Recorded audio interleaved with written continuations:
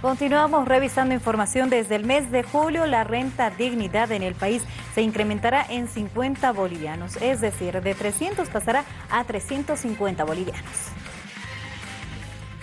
El presidente Evo Morales anunció que el gobierno incrementará el monto de la renta dignidad a partir del próximo mes de julio en 50 bolivianos. Actualmente el beneficio para las personas mayores de 60 años y sin jubilación llega a 300 bolivianos por mes y a 3.600 bolivianos anuales. Hoy día en el gabinete hemos aprobado esta modificación del monto de la renta universal de vejez.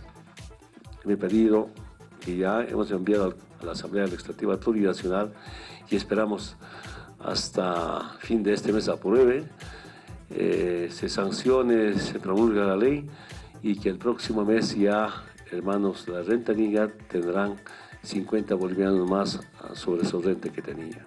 Recordemos que en agosto del 2014 el gobierno incrementó este bono de la vejez de 200 a 250 bolivianos para los adultos mayores que no tienen una renta y de 150 bolivianos a 200 bolivianos para los jubilados regulares. En abril del pasado 2017 volvió a elevarse este beneficio, pasando de 250 bolivianos a 300 bolivianos y de 200 a 250 bolivianos.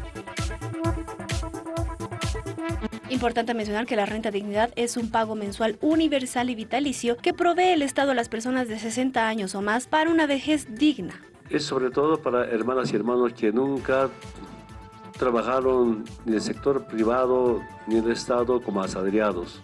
Por tanto, no, nunca tenían una jubilación. Pero son hermanas y hermanos que más, ah, más trabajan. Transportistas, gremiales, eh,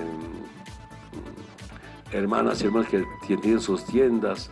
Si no madrugan, no hay venta. Según el Viceministerio de Pensiones y Servicios Financieros, en 2018 se cancelaron alrededor de 3.900 millones de bolivianos a un millón de personas de la tercera edad en el país por concepto de la renta dignidad. El Estado, con, recursos económicos del Tesoro General de la Nación, ¿a, cuánta gente atiende? Un millón 53 mil hermanas y hermanos de tercera edad. Con datos de la Autoridad de Fiscalización y Control de Pensiones y Seguros APS, dan cuenta de que desde que se creó el beneficio de la renta dignidad en 2008, anteriormente conocido como Bonosol y Bolivida, de 1997 al 2007, la cifra destinada a su pago fue un aumento permitiendo reducir los indicadores de pobreza en el país.